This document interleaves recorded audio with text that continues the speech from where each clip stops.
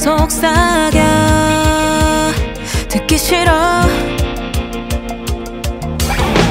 나 홀로 남겨질 쯤에 다시 손 내밀어준 너. 어, 너도 나와 같겠지. 이렇게 멈출 수는